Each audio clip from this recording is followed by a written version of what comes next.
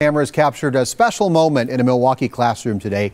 An educator honored as Teacher of the Year. As Kristen Burns shows us, the inspiration, Martin Luther King Jr.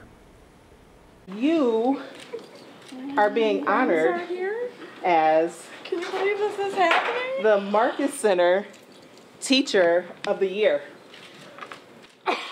Rufus King High School teacher Kelly O'Keefe Boettcher had no clue why the cameras and smiling staff came to her classroom today.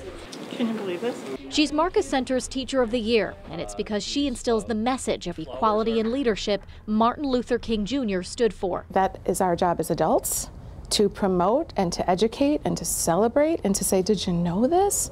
And I think when I watch my students fall in love with him, that's really exciting. She's probably my favorite teacher. Her student, junior Cedric Banks, says he joined the peer mediation group at school because of her. She kind of showed me how I can use my um, leadership skills to better the school and my atmosphere, my community around me. How to be the change you want to see. We make time for Dr. King. We make time for this conversation because it will change lives. Kelly O'Keefe Boettcher received flowers, a plaque, and tickets to a show at the Marcus Center. For her, though, the honor of being included in this group meant the most. For the now, I'm Kristen Byrne.